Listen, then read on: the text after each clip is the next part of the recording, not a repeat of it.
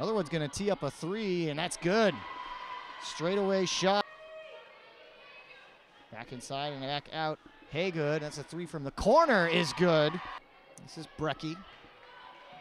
Looking for a screen, and then takes steps into a three and got it.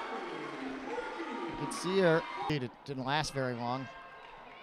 Sacred Heart back on top, showing the press. They get it out to Story. The outlet pass all alone underneath. Torres turns around, drives back. Nice pass. She finds a cutting Ivy Gogol around. Finally controlled by McCray. Here Stork trying to Euro step through two defenders, and she does. Nice bit of footwork there. Looking for a screen.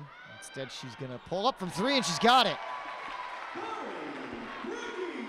Torres backs off. And then it's taken away by McCray. Gribben trying to get back. Kind of had to back off, and McCray, the easy.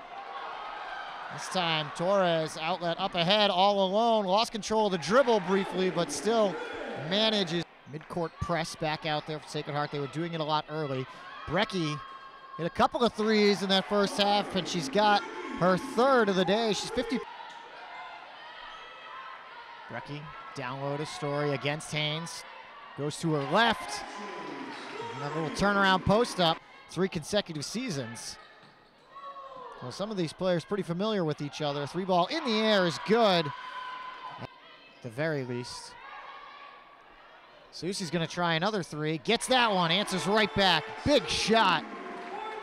So you saw him there. And they're to drop this one 71 to 60, an 11 point loss, and an 0 4 start here for the 2018 19 season for UNH. Sacred Heart improves to 2 and 1.